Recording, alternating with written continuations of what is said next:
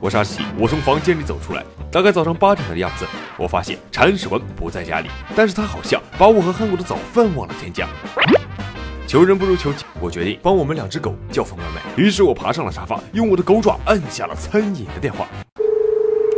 喂，老板，两份鸡腿饭，只要鸡腿不要饭，再见。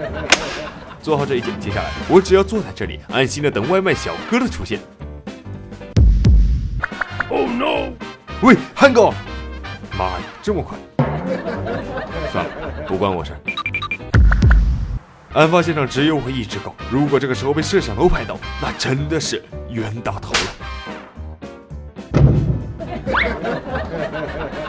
安全了。不过话说回来，过期的食品应该还没有完全消化，我不能坐视不管。如果我现在马上去打个电话，或许一切都还来得及吧。喂，少一份鸡腿饭。Everybody's